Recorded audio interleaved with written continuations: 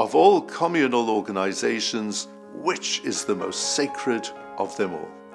In Parshat Vayechi we read, Hayakov was preparing for his death. He told Yosef his son, Ve'asita imadi chesed ve'emet, please practice kindness and truth with me when I would have passed away. Now, what did Yaakov mean? Chesed infers going the extra mile in order to engage in acts of compassion.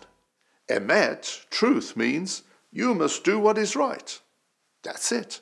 So, on the one hand, he's saying, do the right thing. On the other hand, he's saying, go the extra mile. Sefer Panim Yafot explains beautifully. Yaakov was saying to Yosef, do what is right, the emet. And that is, as a child, you have a responsibility to bury your father. In addition to that, I would love you to engage in chesed. I would love you to go the extra mile in order to take my remains back to the Holy Land so that I can be buried together with my ancestors. This term, chesed ve'emet, is the slogan of every single Chevra Kadisha in the world. Indeed, it is the Chevra Kadisha translated as sacred society, which to my mind is definitely the most precious of all of our communal organizations. Simply extraordinary men and women who, in their separate divisions, look after people once they have physically passed away.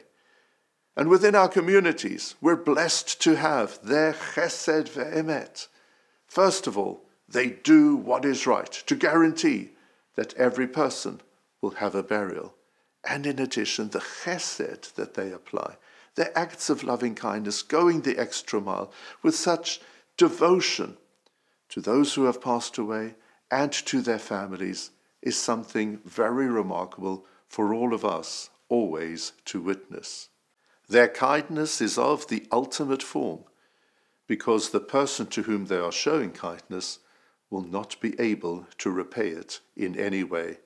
It's absolutely sincere, it comes from the heart, and it is in the finest tradition and spirit of our faith. You probably don't even know who the members of your Chevra Kadisha are. That's the spirit in which they are operating.